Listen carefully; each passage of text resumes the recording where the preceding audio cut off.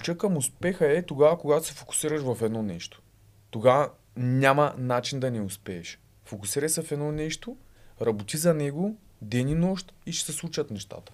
Аз до трето място не съм си мечтал да бъда първи. Разбираш, до трето място. Не съм, смисъл, да, имах си някаква мечта, но не съм мислил, че ще бъда първи.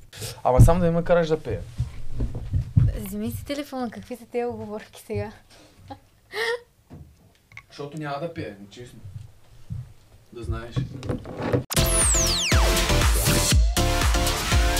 The Voice Cast с Мари Никол. Здравейте, приятели! Аз съм Мари Никол. Вие сте с поредния епизод на The Voice Cast. А днес на гости ми е Станислав, победителя от миналогодишния Hell's Kitchen. Точно. Здравей, радвам се, че си днес тук на гости. Първо ми кажи как си и как върви за теб новата година. Аз съм добре, също искам да ви благодаря за поканата. Между другото, за първи път а, съм на, тук на този подкаст вашия. Доста интересно изглежда и студиото. А как се чувствам? Годината ми започна с, така, с всяко работа. Той и миналата година така си ми беше. Но да, започва доста добре. Искам да ми разкажеш малко повече за това. А, откъде дойде тази страст към готвенето? И кога? Тази страст към готвенето дойде още в моите ранни детски години по принцип. Тогава, когато майка ми и баща ми имаха ресторанти по морето, аз нямах избор. Първо да започнем от там. Аз тогава нямах въобще никакъв избор. Какво точно да работя, защото трябваше да помагам в семейния бизнес. Майка ми беше шеф-готвач в кухнята, баща ми отвън си движеше заведението. И така дълги години, между другото, го работих по задължение. Но след това така постепенно се влюбих в кухнята. Всъщност аз имах доста бурни младини. И нали, тия, където бушуват Хормони. хормони и така нататък. И единственото спокойствие, което аз чувствах е тогава, когато готвих, нали, смисъл тогава, когато приготвях някакви десерти, храни, солени, въобще самата декорация, дори на чинията, която го плейтвам, някак се и така изпитвах м, освобождаване от всякакви негативни мисли. Добре, а всъщност ти с какво си се занимавал преди така да се насочиш изцяло към готвенето? С какво? Ами аз честно да кажа някъде от около 14 годишен готвя. Нали, в смисъл се работи, т.е. покрай майка и баща ми, а вече по-осезаемо, може би някъде около 19 годишна възраст, вече 20, защото тогава завърших средното си образование. Аз учих в спортно училище в Сливен, джудо и самбо доста години. Занимавах се професионално с спорт. И след това просто казах, Станислава, ти единствено от кухня, от друго не разбираш. така че, да, така че влизай в някаква кухня и започвай да си готвиш, защото аз тогава пък и започнаха и маниите към фитнес зали, как да изглеждаш добре. Нали, защото все пак това са някакви много такива годинки, които нали, всички знаем от моя мъжка гледна точка. Момичета, това, това, знаем какво харесват. И аз така се запалих както се казва по фитнес залите. И единственото, нали, тъй като знаем, че това е наистина много скъп спорт, аз съм го казал много пъти, и единствената ми, как да кажа, цел нали, в тия кухни, една от това да се развивам, нали, беше и това да си позволявам аз да си приготвям храната, когато работя, нали, естествено. Общо взето, вече някъде около 19 след 20 годишна възраст, аз записах в ам, Благоевград да уча, висшето си образование. И там вече главно започнах да се занимавам с кухня, вече нали, чисто професионално. И си казах, това е моят път, трябва да го следя, няма как. А откъде дойде идеята да се запишеш а, в Hell's Kitchen? Твоя ли беше всъщност? Или някой ти каза, Станиславе, много си добър, отиди и пробвай докъде ще стигнеш? Много ми харесва как казваш Луа. Професионално? Да, да, да, доста добре. Добре се получава. Значи, ам, как ми дойде? Аз преди години, точно първата година, т.е. когато се записах в Благоевград да уча в университета, тогава започнаха реклами на едно друго кулинарно шоу. Мгм. При което си казах, абе, що да не се запиша? В смисъл, искам да изпробвам докъде бих стигнал. А, след това, когато излезе това предаване в друга телевизия, си реших да изпробвам моите сили, докъде биха стигнали. Но аз тогава нямах и точните умения, тъй като чисто професионално едва започвах да, да го практикувам готварството. А, интересното е там, че точно имах около две участия в това предаване и приключи мача много бързо, при което аз много се притесних. Една седмица, две след излъчването на тия два епизода, си казах, Станислав, ти не можеш да готвиш, че не ставаш за тая работа. Бях изпаднал в една брутална дупка. Обаче имаше тогава хора покрай мен и ми казаха, бе, Станислав, я, я се осъзнай малко. Ти това много добре ти се получава, умееш го, работи по, тоя, по, по тази работа. Това е твоето. И аз тогава си казах, да, наистина. Започнах още по-нахъсан да, да бачкам, както се казва по нашия край, нали, да работим.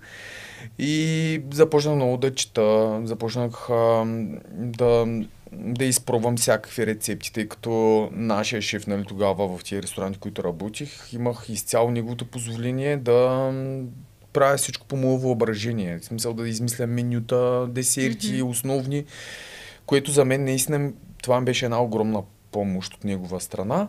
И така, не след дълго, вече живота ме завъртя. 3, 4, 5 години започнах да работя вече в малко по-професионални, вече много на висше ниво кухни. Аз а, толкова много съм учил и както знаем, занаят се краде. Нали? Той няма по друг начин. Аз а, винаги е така съм вървял след а, готвачите ми, шеф готвачите, които са били по кухните, защото там си има рангове, нали? Ако хората не знаят, има си сушеф, шеф и така нататък. А, аз тогава вървях с един дневник и записвах всяка една стъпка, приготвена от всяко едно ястие. Разбираш и тогава си казах, в смисъл, някак усещах тая енергия. И почна някакви реклами а, за това предаване Hell's Kitchen и си казах, бе човек, това, това според мен е, е точно за тебе. Виж, аз имам вътрешен човек, и той си ми говори много често. И аз казвам, викам, бе, добре, да, в смисъл такъв, ще си действам по, по тая линия.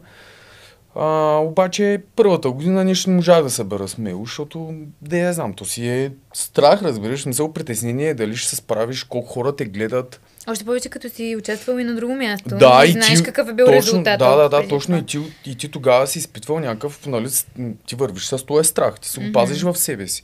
Хората са казали, трябва, как можеш да пребориш страха, като се изправиш срещу него. Аз по същия начин, е така си из- реших да се изправя срещу този моя страх. Нали, пред камера, готвене, сред а, професионалисти, наистина професионалисти. Значи Kitchen наистина е предаване, където събират много големи професионалисти, хора, които работят по целия свят, по разни кухни, готвили с известни готвачи, за известни хора са готвили също. И наистина въобще не можеш, в смисъл там трябва да си наистина много подготвен, за да оцелееш до край. И тогава просто в един момент си казах, давай, записвай се. Това беше най-вече мечта на баща ми, да участвам в такова предаване. И дойде момента, в който аз се записах, имахме тогава някакви м- изпит, то не, нещо, не, нещо като изпит, но някакво такова състезание точно преди голямото състезание. Готвихме по 10 човека, тогава избираха кой ще продължи в следващия кръг и така нататък. И просто аз тогава, ние бяхме 10 човека и оценяваха всяка една чиния по визия и вкус. И аз естествено, мен ми оцениха моята за най-най-най-добра чиния и от тогава си казах, ти си. И така. И то взе, че стана наистина ти. Ами да, по принцип, честно да, да ви кажа, аз много пъти това съм го казвал, че не съм влязал с тая мисъл да стана първи. Всъщност аз наистина влязох с това да видя реално докъде бих стигнал. Нали, да приборя този страх от тия камери, защото хората, примерно като гледат това предаване и казват, а бе, гледай го, той не може да завърти едно яйце напротив. Въобще не е така. Смисъл, това е наистина едно, едно че е голямо напрежение от шеф. Постоянно гледа в ръцете какво правиш. Винаги знае навсякъде какво се случва. А, имаш от всяка камери, те те снимат, хората те гледат от всякъде и ти в един момент а, трябва да запазиш някакво пълно самообладание, още повече да не изключваме пък и напрежението изцяло. Абсолютно. Ние там сме затворени 3 месеца, поне аз имах честа да изкарам до край 3 месеца. Наистина това беше без никакви телефони, без никаква връзка с външния свят. Това още повече ти бърка в а, мозъка. И докато в един момент напред в състезанието, ти буквално мислиш всеки божи ден само каква чиния ще направиш, каква комбинация от вкусове да измислиш, какъв сос, какъв въглехидрат, какъв протеин. Аз буквално само това сънувах. От точно някъде след първия месец. Само това. И даже на моменти е така, като си измисля някаква чиния вечерта, примерно, защото на следващия ден знам, че ще имаме някакво предизвикателство с продукти. И момента, в който си формулирам най-яката чиния, най-добрата на вкус, направя така усещах как целия се настръхвам и си казах, оправих това. А беше ли гледал сезоните до преди този, в който участваш ти? Аз, в който съм участвал, дали съм си гледал епизодите? Не, моите? пред- предните сезони. Много рядко, тъй като моят живот е много динамичен още от преди предаването. Аз постоянно съм работил. За мен зоната ми на комфорта е работата. Аз много пъти е така, даже когато остана без работа и имам чувство, че нищо не е наред.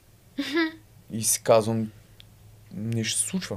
И очаквам нещо лошо да се случи. А то всъщност просто мозъка ми почива, обаче то не е свикнал да почива. А кое беше най- най- трудното нещо за теб в предаването? Най-трудно В някакъв момент, предполагам, се адаптирате към това, че ви снимат, че... Адаптация към камерата, да, има я. Още на първата седмица. Но най-трудното е, всъщност, то със всеки изминал ден става все по-трудно и по-трудно. То е като някаква игра. Сещаш се? На нива. Мгм. А, естествено, шеф очаква от ся, всяко, всяка една стъпка напред, очаква се повече и повече от тебе, се повече научени м, техники да, да прилагаш във всяка една чиния. И най-сложното, между другото, което е да направиш организация на ума си. Тоест, ти трябва, когато шеф ти каже старт нали, на състезанието, ти имаш 45 минути. В тия 45 минути ние имахме много предизвикателства с пълна маса, с всякакви продукти. За тия 45 минути, представи си мозъкът ти колко трябва да е свикнал, колко трябва да е натрениран, за да измислиш едно ястие. Първо, да си го представиш ястието ти какво ще включва. След това да си вземеш всичките продукти, които са за това ястие, те не са никак малко, защото аз пак казвам, колкото по-напред отиваш, че толкова повече техника прилагаш, толкова повече компоненти в чинията нали, слагаш и ти всяко, всяко, всеки един сегмент ти трябва да мине през ръцете, за да го сготвиш, за да го направиш на точна температура, на точното сготвяне и всичко да бъде както трябва.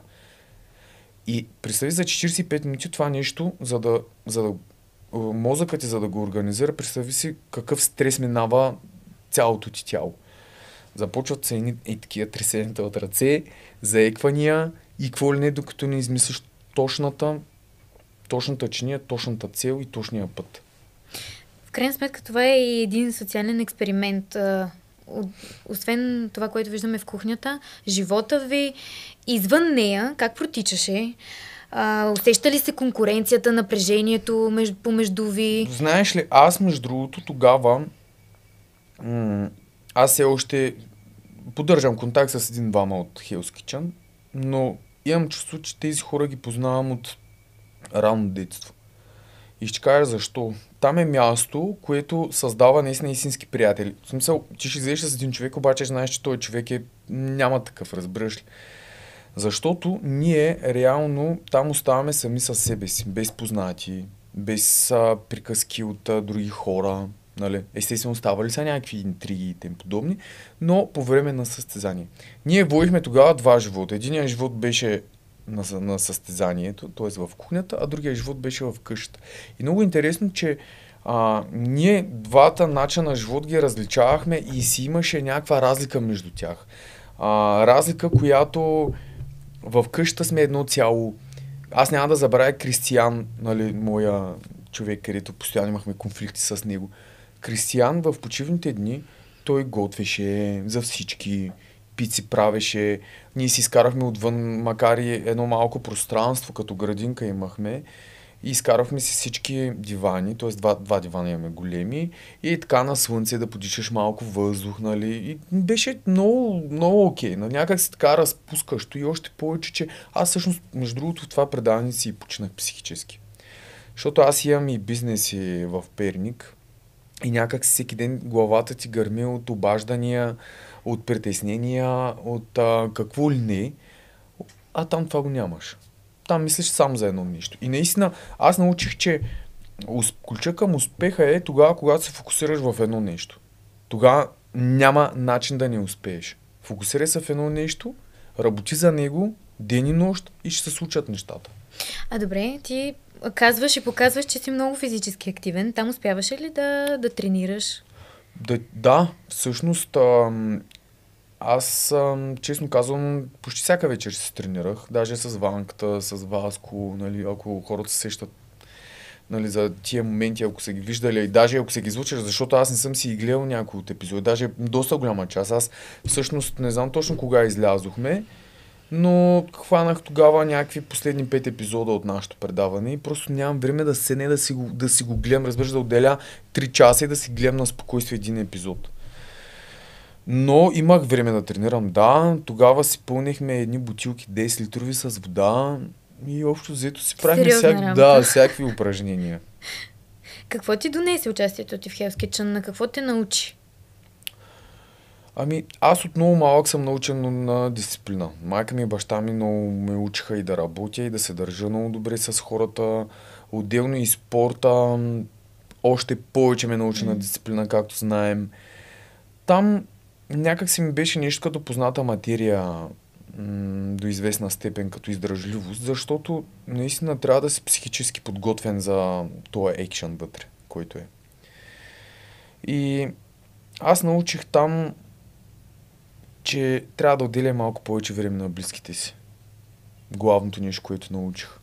Тогава се сещам, нямахме игри. Чертаяхме си Не се сърди човече, шах си чертаяхме и използвахме пешки с бобчета, грахчета, някакви такива, разбираш ли? И аз стоя и ги гледам някои от участниците, нали, как си играе, защото аз примерно съм си тренирал, всеки си правеше неговото. И стоя и ги гледаме така отстрани. Много рядко се включа да играя някаква нали, такава игра. Просто малко ми са скучни. Но аз научих от тях нещо, че м- толкова сме забързани в този живот да работим, да изкарваме пари, да се занимаваш това, с това, връзки, несполучливи, сполучливи. Докато ти реално не си дадеш някаква пауза и да видиш, че живота наистина е много прекрасен тогава, когато отделяме внимание на хората около нас, които ни обичат. Как аз самия тогава си казах, аз кога съм седнал, примерно с моето семейство и да си да се забавляваме, да си говорим някакви неща, разбираш ли пък с мои приятели. То постоянно на телефона, а ако стоиме на кафе, примерно с някои познати, всеки си е грабнал на телефон, просто наистина живееме в някакво много, много странно ежедневие. Аз тогава това научих. Просто намерете време за своите близки. Така и пък и ти сам каза преди малко, че като останеш без работа, се чувстваш, едно нещо не е окей. Okay. Да. И, и у, у много хора го има това нещо. Някак си като някаква болест на 21 век, че трябва непрекъснато да си в тази динамика. Да. И много често забравяме да отделяме време за себе си. И на това малко така ума ни да се изчисти, да се рефрешне. Добре, а, казваме и за... Всъщност ти сладкарница ли имаш? Да, имам сладкарница. Скоро си отворих и сладкарски цех. Защото, да, защото трябва нали, вече така да разширявам лека по лека бизнеса. Даже преди много бързах. Сега в момента гледам по-бавно да ги градя нещата, да, ма, да има по-стабилна основа, защото бизнеса не е да штракнеш два mm-hmm. пръста и да имаш абсолютно всичко и работа и така нататък, постепенно. А сладкарски курсове няма ли да правите? Обмислям варианта, между другото. Айде. Да, обмислям варианта. Обмисли го. да, даже нещо в началото на пролета. Даже съвсем скоро. Вече съм си оговорил и място, къде точно се проведат, проведат а, самите курсове. А всеки ли ще има възможност да... Да се приготвя торта ли? Да. да. Наистина? Mm-hmm. Добре. Нас. Показваме блатове, кремчета. Ще, ще следвам тогава в социалните мрежи да разбера кога. Да. Ще се случи това, че аз много време се каня и все, все отлагам. Но нищо. Ще остане ми време разкажеш и после, да, това. за твоите Добре. Добре, а сега вече започна и новия сезон на Hell's Kitchen. Няма как да не те питам. Ти всъщност а, гледаш ли го? Остава ли ти време и вълнуваш ли се за това, което предстои? Кой ще бъде новия победител? Интересно ли ти е да видиш какви хора ще взимат участие? Всъщност, то на теб ще ти се и налага, понеже ти ще си водещия на официалния подкаст на Hell's Kitchen. Ами Така да, че и там ще сега... те гледаме. Всъщност, още от първия епизод, когато е започнал, той започна съвсем скоро сезона. Мгм. А, доста с голям интерес го гледам, между другото. И някак си, на мен ми е много, в смисъл, интересно ми е как се случват нещата. Стоя, примерно, и, си- и си гледам а, някоя част от примерно камерите, където заснимат някакви ъгълчета, така нататък, с камер, и аз там бях, там бях, това там, така си направих. Смисъл, си ще забавлявам се и така замчък, но а, на мен даже ми се налага в момента да ги гледам, защото наистина аз съм благодарен, че избраха мен за водещ на официалните подкастове на Hell's Kitchen. Всъщност ще имам възможността до всеки един да се добера, да разпитам за всяка една, как да кажа, за всяка една история, която се е случила интересна в шоуто, в шоуто, в предаването. Еми, то си е и шоу. То си е и шоу, да. Сметка. А, ще имам възможността също така да, да ги предизвикам на някакви дуели, м, поготвени, да ми покажат някоя тяхна рецепта. Ще си говорим доста и за кухня, и за личния им живот също така. На мен ще ми бъде много интересно. Даже нямам вече търпение. Съвсем скоро започват и моите снимки. Но да, гледам изкъсо всеки един участник и така го... Добре, а по по-различен начин ли го гледаш сега вече, след като си бил там? Еми малко така с повдигнато носле го гледам да ти кажа, защото си казах, о, аз съм победител, давайте ви мишки газ. Добре. да, да. М- няма как. Смисъл, аз това, това предаване Hell's Kitchen, аз си го заобичах, защото то наистина главно ми стана част от моя живот и някак си, си, си ми е моето, се разбираш, се едно, как да ти кажа, моята си къща, моята си кухня, така ги усещам нещата. М, готино е, наистина. Това е наистина най-яките моменти, които може човек да запечата. Нали, едно от най-яките моменти са точно вътре в предаването, защото знаеш ли какво е да чувстваш де, почти 90 дена в стомахщето ти, как е, е така се бушува от вълнение. Всеки божи ден. Всеки божи ден се случваше по нещо супер интересно, супер запомнящо. Ние пътувахме, постоянно имахме някакви предизвикателства, постоянно някакви изненади, защото ти, реално ти като си в къща, нищо не знаеш какво ще случи. А, днес какво ще има? Дали не ще почиваш, защото ние имахме такива дни, в които си почивахме. Не знаеш днес какво ще става и ти си постоянно под някакво вълнение, леле, какво ще се случи и така. Така исках да те питам, вече фаворити имаш ли си на този етап, на който е предаването? М, Макар да сме видяли все още много малко. Не сме видяли пълния потенциал на всички участници. Ами, виж сега, за мен е твърде рано още да си имам моите фаворити, тъй като аз, ако ще си избирам мой фаворит, това е, няма да гледам само от едната точка на, на самия участник, а по-скоро бих го опознал. Бих опознал човека, за да си кажа, о, ей, аз съм за този.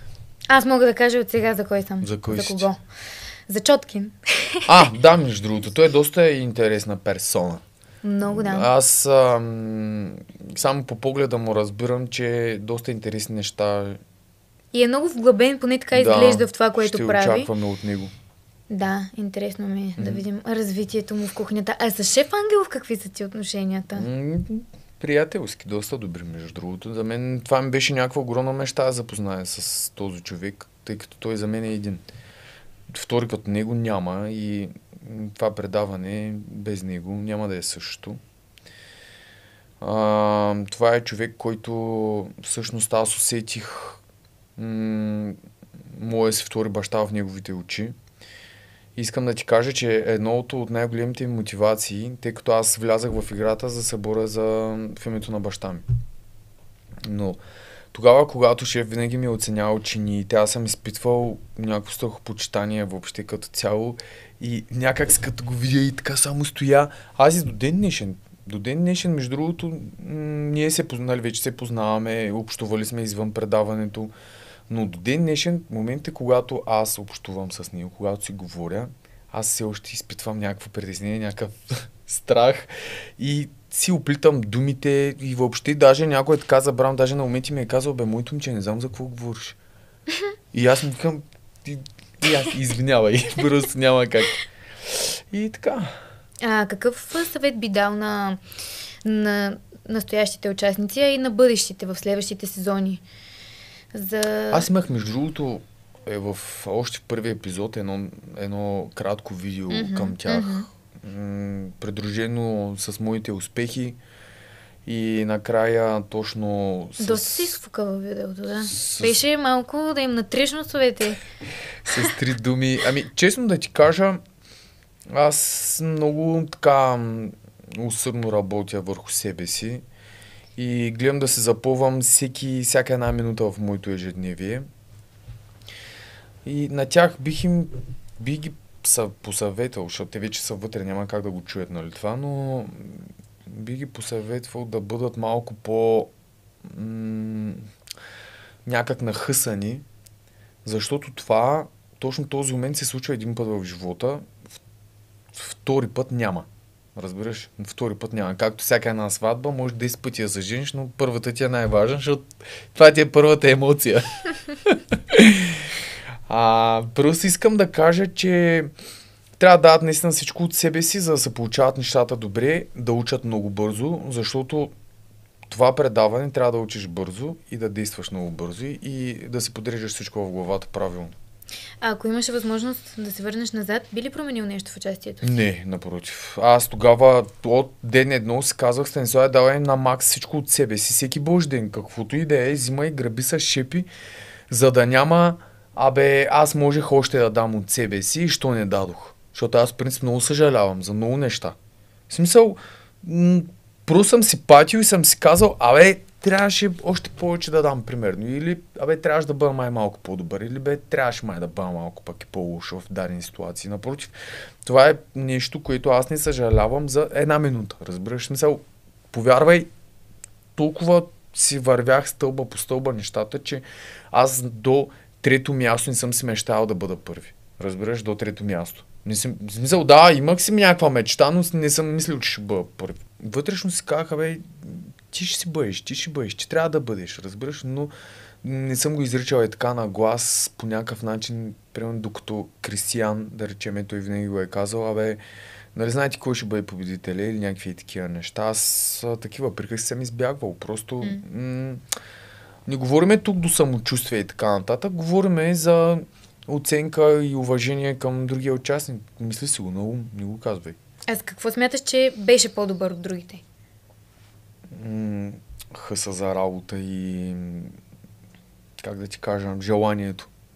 Желанието е на първо място. В смисъл, разбери, че това е наистина една материя, която се учи цял живот, кухнята. Няма шанс да кажеш, аз вече я знам кухнята. Няма шанс. Винаги всеки все нещо ново и ново и ново излиза и нови техники излизат с нови машини.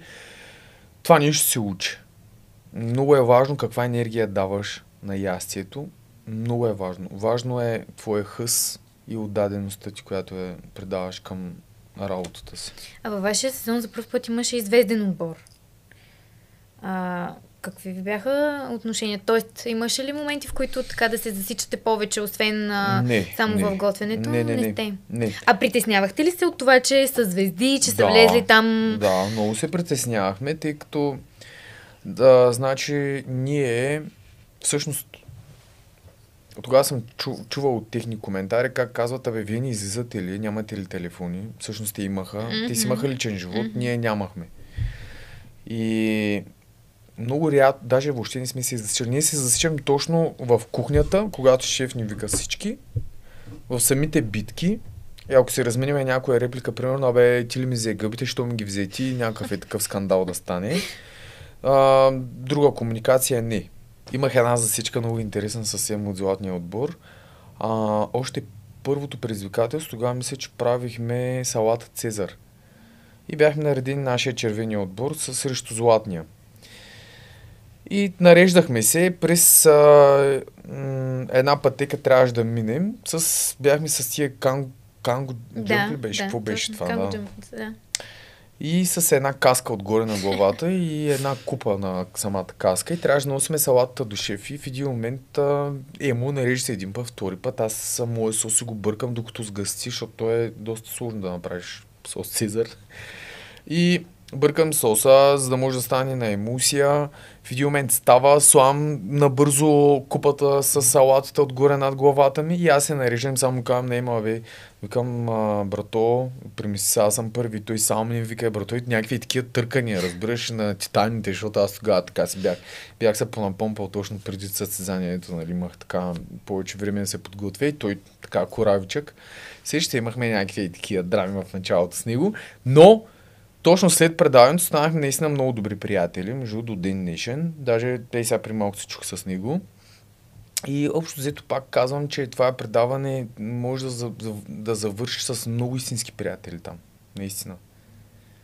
Прави ми впечатление, че се чувстваш доста комфортно пред камера и така вече Така доста... доста, впечатление? Аз винаги усещам, че се притеснявам. доста начин. обигран изглеждаш, между другото. Виждаме те и в на кафе вече. Да.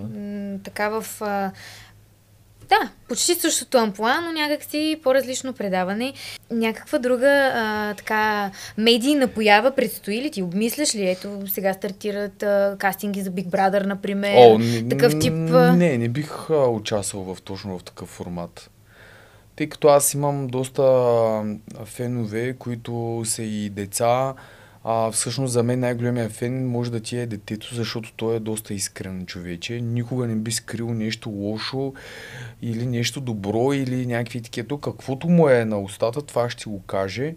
И аз е така много, много се гордея с това нещо, защото ти си дал м- нещо ценно на тия деца, разбираш ли? Знаеш колко е такива видеа са ми изпращали а, родители, как техните деца м- готвят или някакви по-малки, как се готвят в тия пластмасовите кухнички. на- Нали, нали се мгм, сещаш? Много, много интересно. И мен това нещо ме вдъхновява супер много. И ако бих участвал в някакво предаване, би било нещо подобно нещо, което да покажеш наистина някакви умения, да нещо хората да научат, децата да научат, да видят нещо образователно, ако ще и така го наречи. Но Big Brother не знам. А то, между другото, има такива а, световни формати с а, като детски мастер-шеф, нещо да, да, да, тип. гледал съм ги, да. Така че могат да се замислят да направят нещо подобно за деца. Ами да, виж сега, в такова бих участвал наистина на, Мгм. на 100%, даже с голям кеф бих го работил от това, защото това си е работа. Нали? Да. В смисъл, а, за да бъдеш в телевизията, наистина трябва много добре да свикнеш с камера и защото малко или много хората с его, например, много им пречи камерата, защото мале сега как ще изляза, как това, как това започват се пресняват.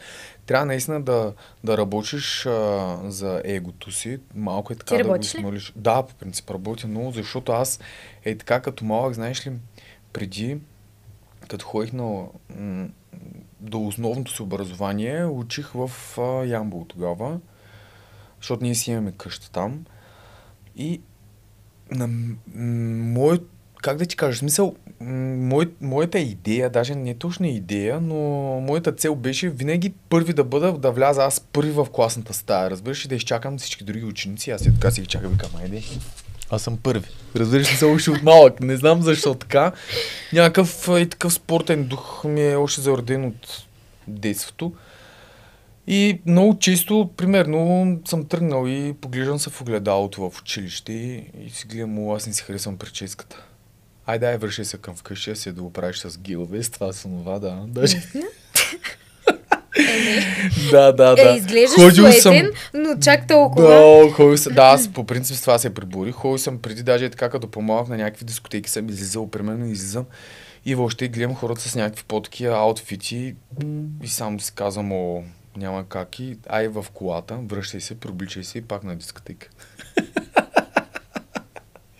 Имал съм Тук вече такива. ме тотално ме закова. Да, имал съм. Не, всъщ- всъщност имал съм някакви такива много къси случки. Със сигурност и много хора са ги имали. Така че и ти 100% си имала няк- някакви такива ситуации, в които отиваш в някакво, примерно, на Е, някакво до вкъщи събитие. не съм се връщала. със Така ли? сигурност. Не, абсурд. Еми, нищо, аз съм Е, на мен връщал. много често ми се случва, когато трябва да съм перфектна изцяло, от Да. глава до пети и да имам някакво Виж, аз, участие и така нататък. извинявай, ще прекъсвам, аз а, нищо не крия. Искам да, да знаят хората, че Мгм. наистина никога не съм се стремил, примерно, да бъда някакъв, какъвто не съм. Най- каквото ми е в душата, това е и на масата, разбираш. Просто няма какво остане. Да. Да, просто искам да го подчертая това. Добре. Та, исках да кажа аз, че ми се е случвало да точно в момент, в който трябва да съм перфектна, да не се чувствам, че изглеждам така, но да се връщам за някакви корекции, не, до там чак не се е стигало. Добре, Добре аз и предполагам, с- че си перфектна в повечето случаи, защото тогава съмняваш в себе си. Е, много добре знаеш, винаги има нещо, което не ти достига. Да. Няма, особено като си, ако си перфекционист, Да. до мозъка на костите си, нещата са, да. А, сред толкова много занимания и работа, кога ти остава време за почивка, за близките хора, за съпругата ти?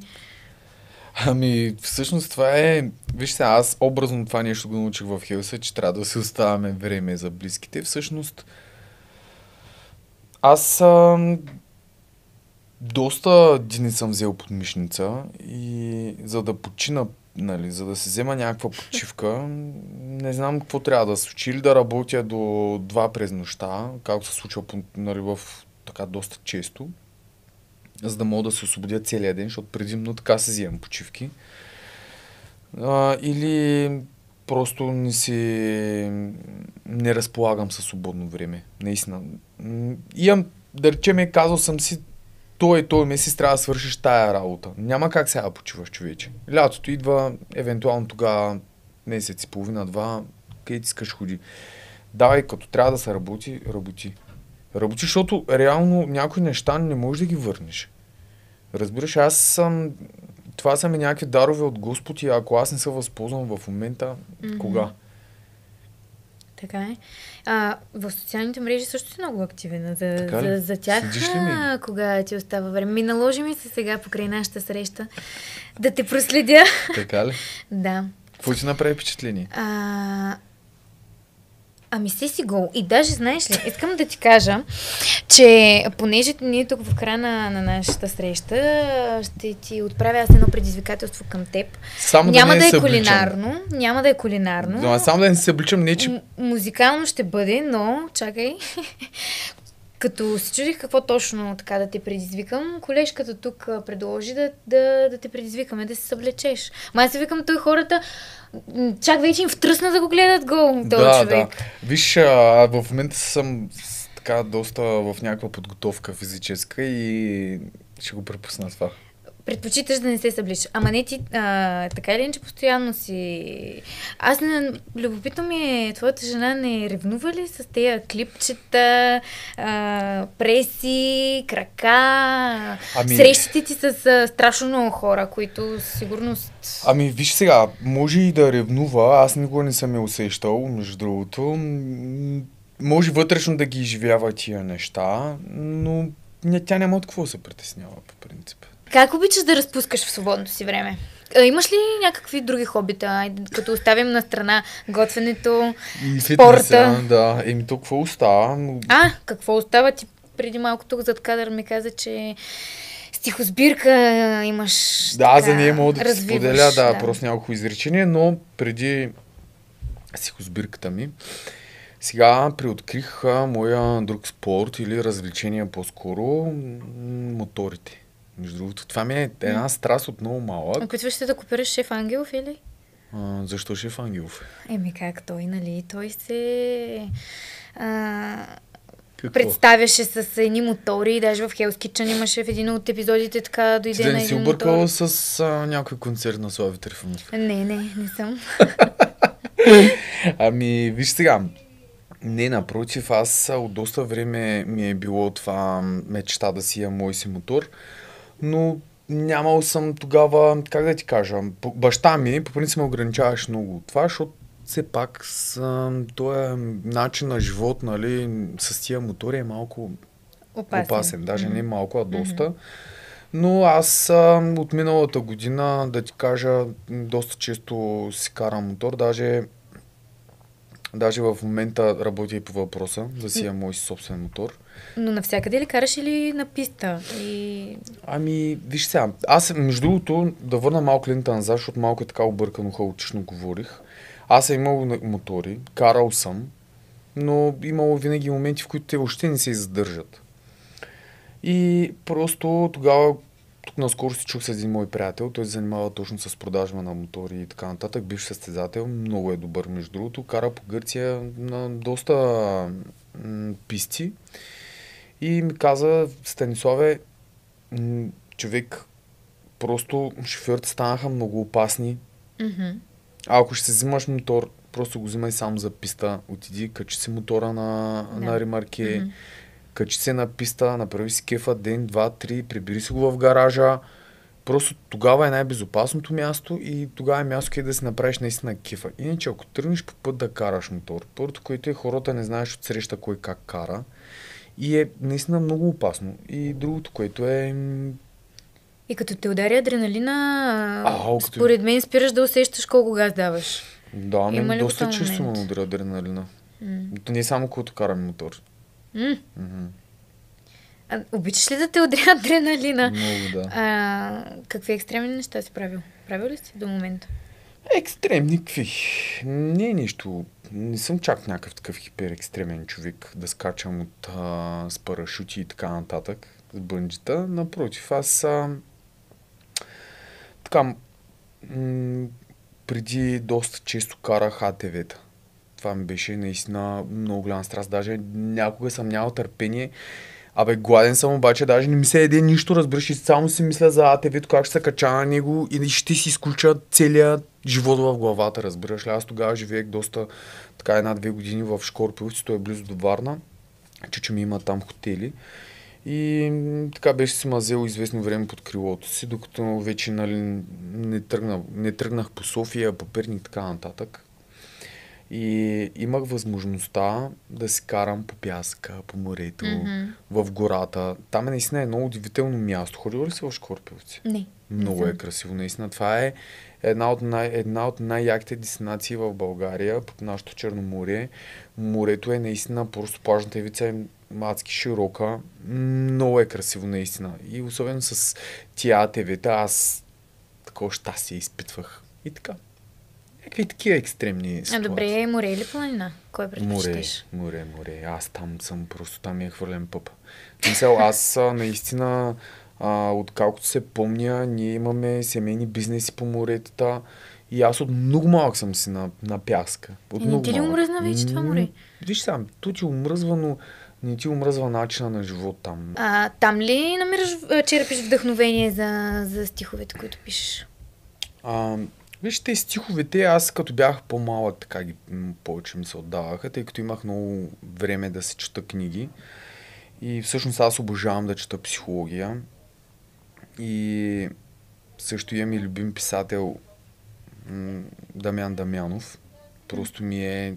Той е топа на топа. Наистина най-любимия писател. Аз му знам доста от неговите стихотворения. Четеш ли? Чета. Браво, каква тема четеш? Каква тема? Основно, м, любимо ми е поезията. Аз и, И поезията, да, също е доста интересна. като, като цяло... Аз, пример, виж сега, извинявай, ще прекъсвам, аз като прочета една книга, Мгм. така се вдъхновявам, че имам усещане, че да мога да напиша нещо брутално яко. Смисъл, още една книга, разбираш. Много е яко, защото реално м- трябва да четем повече книги. Даже тия инстаграми, ако може малко е така да си разделиме времето на половина, да четеме нали, книги през другата половина от кисненето в Да. някакви гледания по инстаграм, видеа и така нататък. А, много добре и мозъка се чувства. Аз, например, много зареждам. И като бях по-малък, много четох книги. И така в някакви малки връщици, като вляза и някак така се вдъхновявам, почвам да пиша. Сещаш се, много голям киф ми правиш такива неща да, да си пиша. А И- добре, на какъв носител предпочиташ да четеш? Аз тук като един а, възпитаник на а, факултета по журналистика, специално с книгоиздаване, няма как да не те попитам. Печатна книга, електронна или аудио? Какво... Ами, Кой е виж, предпочитания от теб формат? М- печатна аз по принцип предпочитам, но моето време, с което разполагам е електронната. И имам си един таблет, който на него само книги се чета и то предимно вечер, като се защото Коя е последната книга, която прочете? Последната книга, която прочетох е Монахът, който продаде своето Ферари. М. Много е интересна. Тая книга я прочетох на един дъх. Между другото, това е да заровиш цялото си богатство и да обърнеш внимание на живота. Ако издадеш в крайна сметка стихосбирка, Това ще ми бъде най-вероятно. Вече тая стихосбирка съм е сменил с а, моята нова идея да издам моя кулинарна книга. мгм, Да, която а, ще бъде свързана с моя начин на живот през годините, откъде съм тръгнал, а, както и всяко едно, някои от ястията ще бъдат... авторски. Да, авторски. Ти всички ще бъдат авторски.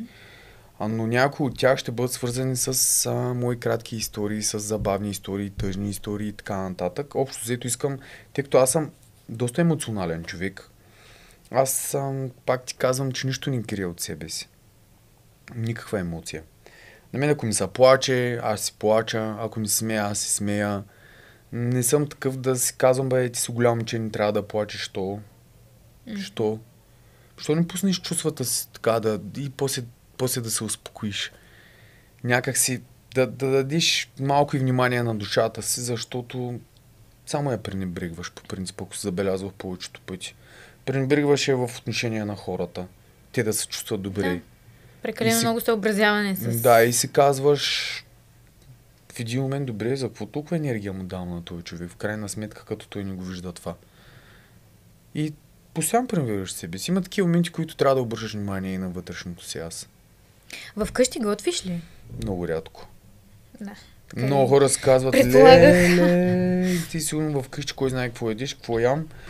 О, не, вчера мислих да си посна една снимка, как си стоя на пътя човек на една главна улица, коли минават и аз съм си отворил банчарката, защото сега движа наскоро с банчарката, колата ми е на ремонт и яко че вече и не ми е пука принцип каква кола карам. И отварям си отзаде багажника и, и съм си седнал на банчарката и си хапвам от една кутийка с ориз и пилешко месо. А, така. Режима въобще, върви. въ- Режима си върви и въобще не ми пука човек. Добре, как върви този режим като нон-стоп? Ето и в на кафе, и в а, сладкарския ти цех. А, Ами, постоянно си заобиколен от нещо изкушаващо за хапване. и най-интересното е, че аз много рядко ям сладко. Първото, което е. Много рядко е така ми се дохапва.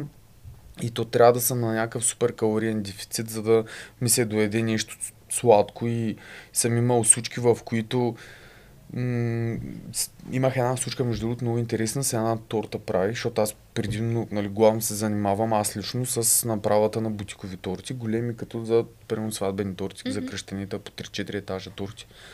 И правя една торта и, и я измазвам с маслен фростинг отстрани и измазвам с шпатовата и тя пада надолу крема. Тръгваме да издигам, тя па- пак пада. Аз тогава бях на брутална диета, сеща нещо и така муха да бръмне и направо искаш да, да я хванеш човече и да я изядеш, разбираш, такъв, такъв яд. И в един момент тая торта, само си казвам, Станислав, дише, дише, дише, до момента в който направо човек е така с цяла ръка, я размазах на масата, разбираш, и почна да ям от нея на два, на три пъти. Мазал. А какво най-много обичаш да готвиш? Кое ти доставя най-много удоволствие да правиш? О, това е любимият ми въпрос. Всичко. Всичко обичам да приготвям. Всъщност, аз вече през по-голямата си част от ежедневието готвя, тъй като снимам за мой инстаграм, за тиктока ми доста видеа. Всички видеа, даже не всички, имам си нещо по-различно, но огромна част от видеята са ми кулинарни. Аз през цялото време готвя, в момента в който отворя очи.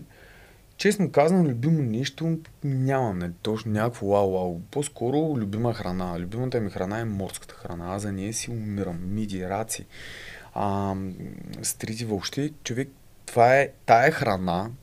Получавам някакъв оргазъм, брутален вътрешен, разбираш ли. Наистина, това ми е най-любимата храна. Гастрономичен оргазъм. Както искаш го наричаш. Добре, а, чакай да те върна само. Каза, че правиш а, основно такива бутикови торти. А, предполагам, за твоята сватба тортата си я правил ти. Всъщност, да, проекта за моята торта, сватбената, аз предимно ясно, с ясното съзнание бях, че тази торта трябва да я приготвя аз лично, макар въобще не ми се занимаваш, защото аз тия торти, които ги приготвям за моите близки и приятели, нали, говоря за много близки, сега примерно като майка ми също беше рожденичка, аз на ния торта не успях да я направя. За нас много рядко остават торти, които, примерно, аз да ги направя, защото вече ми направо ти е ей така. В смисъл, мотивираш се за някаква поръчка, правих всяка една торта ми е наистина много добре. Сега и на вкус, и на визия. Но когато стане въпрос за нас и да си направим торта, губя всякаква мотивация, въобще не ми се прави нищо. Но тази торта беше един ключов момент, защото хората очакваха да видят на Станислав от Hell's Kitchen каква ще му бъде сватбената торта. Тъй като исках да избегна всички лоши коментари и негативни, реших аз да си направя моята торта, да не казват, гледай го, големия майстор, пък не можа да си направя на торта сам. Ама ето виж, и, и ти се водиш по хорското мнение. По, да, виж, аз точно и това и аз и така се усетих. Да, боря се с това, между другото, но тогава ми беше още някаква така съвсем на, на едно начало и някак си, как да ти кажа, нова материя. Ти знаеш какво беше аз, като от Hell's Kitchen? Ти, като тръгнах по центъра, аз имах чувство, че съм някаква брутална, известна рок звезда. От всяка и от кафе, кафенета ставаха, те бяха, вървяха на опашка хората и се снимаха с мен. Разбираш, аз тогава направо бях се изплашил по едно време и сках, леле, ама аз как съм облечен, ама аз това, аз това сутрин тръгвам да си работя до цеха да отида, аз трябва да съм по-така облечен, защото хората мен ще ме видят какво ли ще си кажат. Mm-hmm. Тогава бях в такъв период, нямаше как, наистина. Но се тая. Смисъл, аз наистина исках пък и аз да си я направя тая торта, защото проекта, който го открих, беше доста интересна торта, нали? Тоест го открих в ума си точно как да бъде структурирана самата торта. А момента, в който м- аз си представих тая торта, исках да избегна класическите една върху друга и така нататък. Моята торта буквално беше космическа, разбираш, а, беше около 6 етажна торта. На всеки два етажа тя се държеше на, на, на едни пера от... А, аз бях направил тези пера от оризова хартия. Всеки един Добре, етаж... тя не е ли много финна оризовата Финна е хартия? много, да, но аз имах тогава едни други материали, които си я направих по този начин. И буквално като я видиш тортата и тя изглежда такава въздушна Да. торта, разбираш, във въздух се държи. Наистина много интересна е. По самите пера от оризова кора имаше осветление, което си го поставих. Наистина, това ми е една от най-най-яките торти, които аз съм правил него. Това е един проект, който много трудно би го повторил. Аз тази торта реално я направих с огромно напрежение за 3 дена, тъй като проектът наистина беше много сложен и трябваше самата торта да я предвижа от Перник до Шкорпиус, до морето, защото тогава нали, се разви тая сватба на пяска, на морето. Мгм. На мен беше мечта някога, още преди като бях малък, ако се женя да бъде на морето, защото това ми е моето място.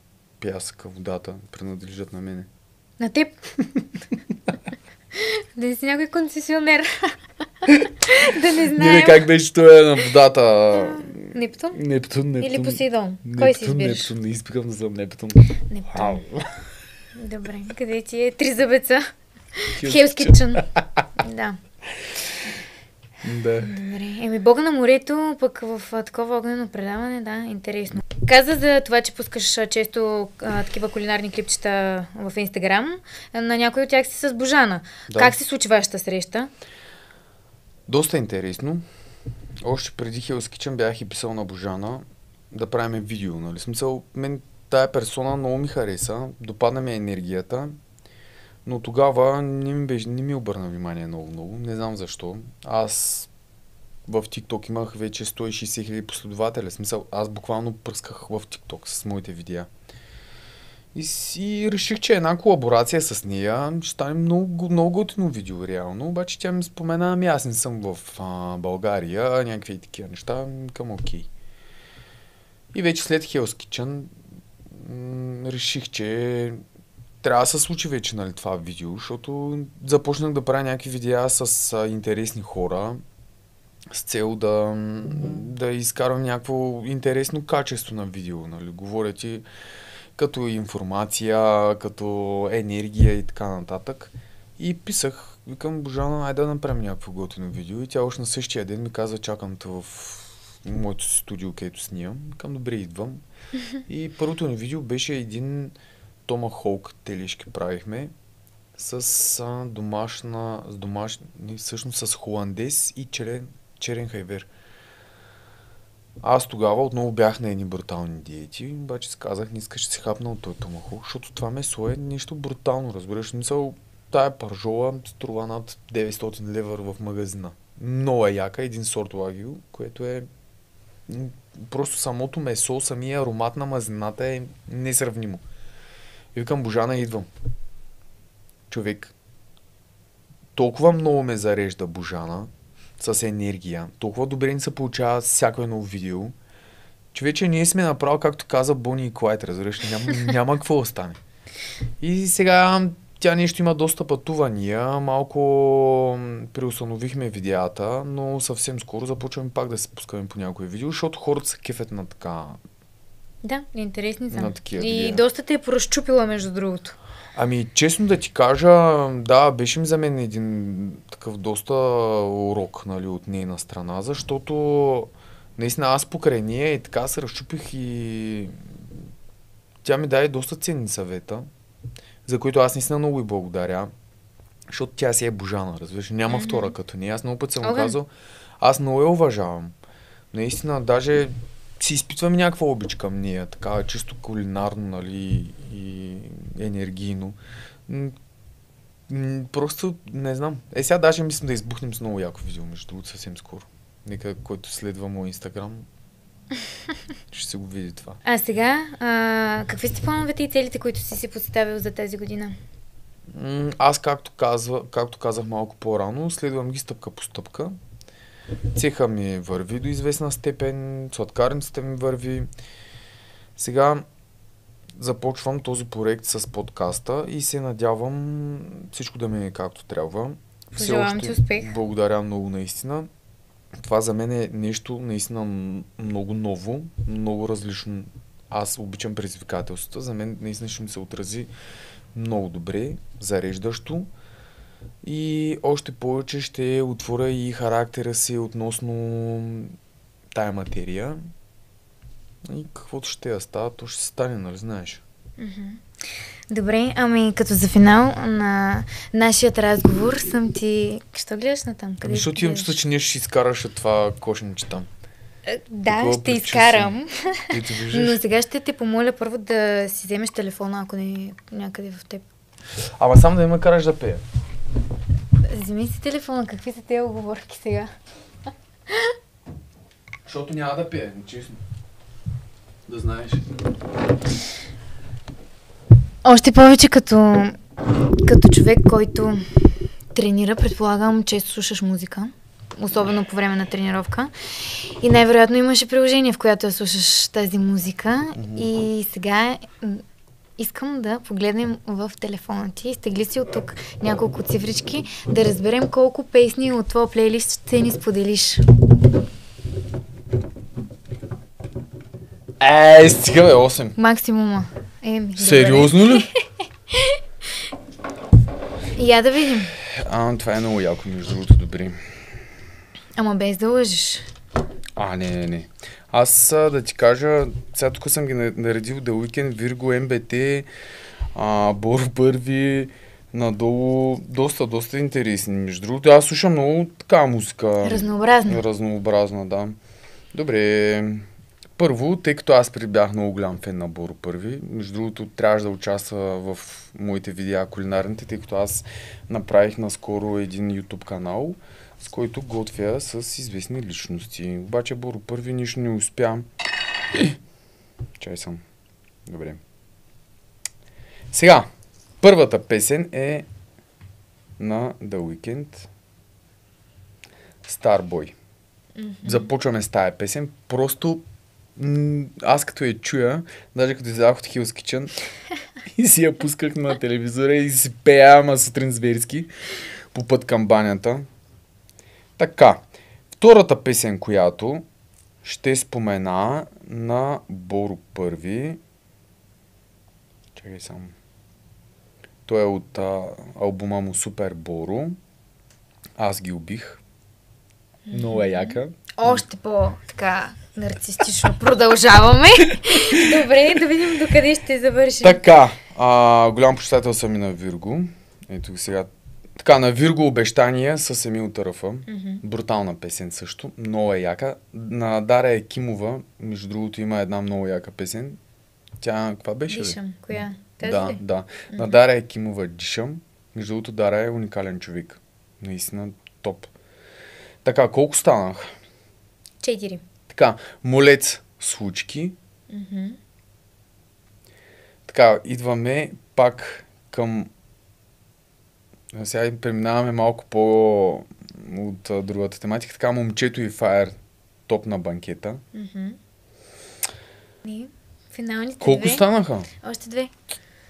А, между другото, виж сега, да отидем към чалгата. Аз много рядко слушам чалга, но един от най-любимите ми изпълнители е Галин. Смисъл, аз съм на него голям почитател. Ние с него имаме, между другото, и видеа в а, YouTube. Това е хора, това е най-добрият човек, който познавам аз наистина. Даже наскоро разбрах, че помага на детенце, което има здравословни проблеми, 4-5 години, борят се с операции и така нататък. Наистина, много малко хора това нещо го правят, за което на Галин е вола. Наистина. Който го Според познава, мен знае е за какво хубаво да се дава гласност на това, защото по този начин Ма хората, разбира които се, го ти си... от- следят... а, Естествено, ти знаеш какво ми казва той? Галин, ми вика, слушай сега. Нали, Господ ми дава, нали, това, което ми дава, Мгм. обаче той пък иска да види аз какво ще дам на света. Разбира се. Разбираш ли? Да. И Ама реално, аз много пъти те казвам за замисъл, ти знаеш, мен това ме мотивира супер много. И бях направил тогава една благотворителност за деца в неравностойно положение. Влизам в цеха и им казвам на хората, хора, дайте да направим торти сладки, искам да занесеме на децата. От Мгм. нас, ей така просто. И тогава момиче, което работи при мен, наистина това добротата е, за, е зараза, бе, човек. Тя Така е. стои при мен, момичето и, прави нали, тортички и казва, бе, защото аз искам на име да ме наричат. Шеф, е, такива неща, аз въобще ги избягвам. Тя вика, бе, су, аз имам в къщи много играчки, детски дрежки. Дай и аз да участвам в нещо. Разбираш, мисъл, наистина добротата е, е зараза. Хора, Така е. заразяват се един с друг. Така. Сега, момче без сърце на Галин. Между другото, тая песен. Да, с тая песен преодолях една брутална любов, разбираш. Бях тогава на... Значи тая, тая песен при 10 години. При 10 години точно излезе, аз съм бил на 20. Мале, аз съм на 30. Ужасно се, съм даже и на 30, честно ти казвам.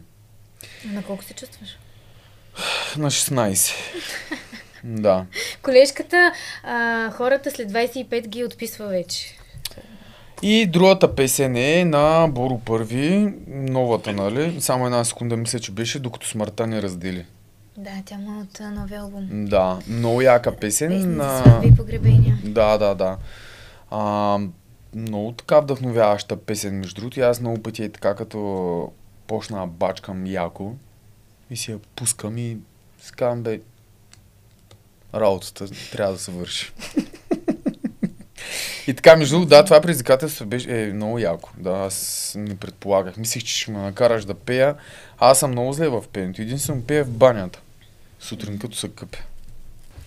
Благодаря ти много. Беше ми много приятно На мен също, между другото. да бъдеш мой гост и че имахме възможността въобще да се запознаем, да си поговорим. Много успехи ти пожелавам и все така да продължаваш да се развиваш в Благодаря много. всяка една сфера, Благодаря. която ти харесва. Благодаря и на вас, че останахте до края на епизода. А, абонирайте се, между другото. Аз това се забравям да го казвам, ама и някак си ми е странно тези Да. финалните Аз също ги избягам в слова. моя канал, абонирайте се. Ако Ам. искаш, той ще се абонира. Човек и ще ги следи. За какво Да. трябва точно да го карам? Бе, ай, абонирай се, ай, моля те, съпортни малко. Така е. Но въпреки това не трябва съпорт, за да правим това, което правим. Естествено.